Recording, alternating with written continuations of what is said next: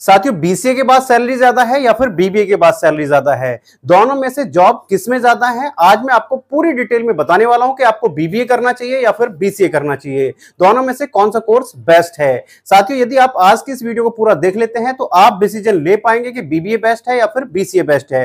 Video बहुत ही informative होने वाला है। तो वीडियो में अंत तक बने रहिएगा और यदि आप चैनल पर पहली बार आए तो चैनल को सब्सक्राइब कर लीजिएगा बेलाइकन को प्रेस कर लीजिएगा, क्योंकि मैं आपके लिए इसी तरीके की इन्फॉर्मेशन वीडियो लाता रहता हूँ।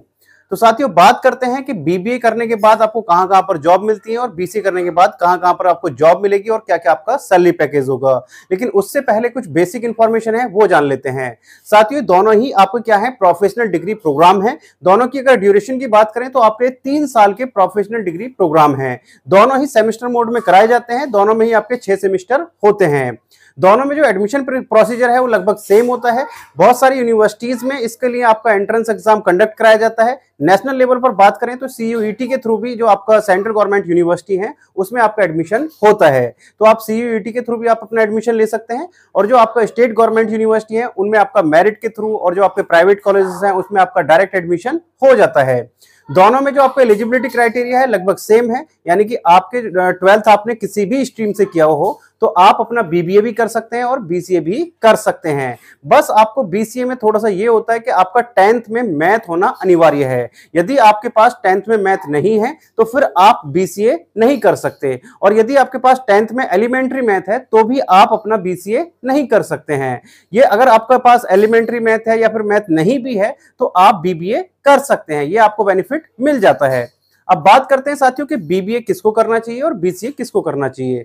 साथियों, यदि आपको कंप्यूटर की फ़ील्ड में इंटरेस्ट है, आपको प्रोग्रामिंग में इंटरेस्ट है, आपको कंप्यूटर की लाइन में कैरियर बनाना है, इसमें आपको कोडिंग सिखाई जाती है, आपको जावा सिखाया जाता है, इसमें आपको. डॉटनेट सिखाया जाता है, इसमें आपको वेब डेवलपमेंट आपको सिखाया जाता है, इसमें एआई यूज़ हो रहा है आज की डेट में एमएल यूज़ हो रहा है इसमें डेटा साइंस इसमें यूज़ हो रहा है। तो यानी कि कंप्यूटर की फ़ील्ड में यदि आपका इंटरेस्ट है तो आप अपना क्या कर सकते हैं बीसीए कर सकते हैं।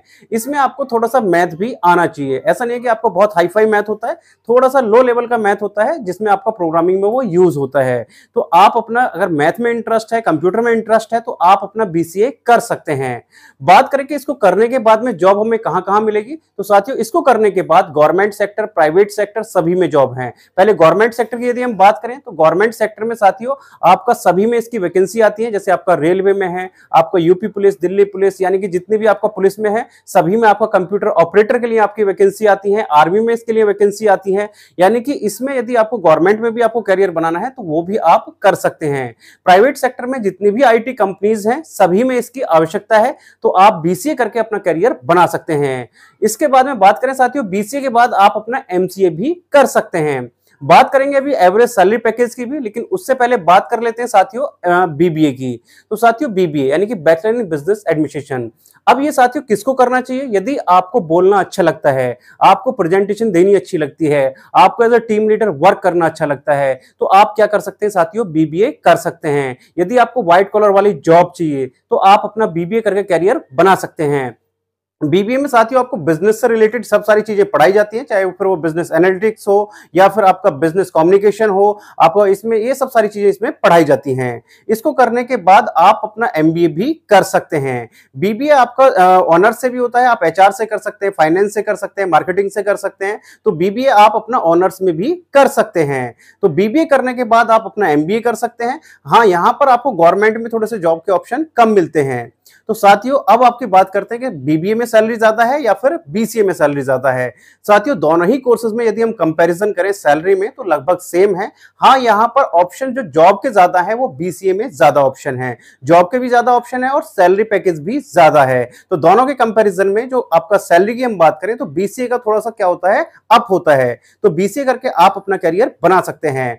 आपको दोनों में से कौन सा कोर्स बेटर लगता है? और यदि आप किसी कोर्स के बारे में और अधिक जानना चाहते हैं या कोई आपको क्वेश्चन है तो आप मेरे से कमेंट बॉक्स में पूछ सकते हैं। मैं जितने जल्द से जल्द होगा, उसका आंसर या उस पर वीडियो बनाने की पूरी कोशिश करूँगा। और बात करें साथियों, एवरेज पैकेज की तो दोनों का एवरेज पैकेज, यदि किसी आप अच्छे कॉलेज, यूनिवर्सिटी से कर लेते हैं तो आपका जो एवरेज पैकेज है, एवरेज पैकेज की मैं बात कर रहा हूँ, वो आठ से दस लाख के बीच में आपका पर ईयर रहता है। तो ये है इसका एवरेज पैकेज। तो चलिए साथियों, मिलते हैं आपसे नेक्स्ट न्यू इस तरह की इंफॉर्मेशन के साथ। तब तक के लिए जय हिंद, जय भारत।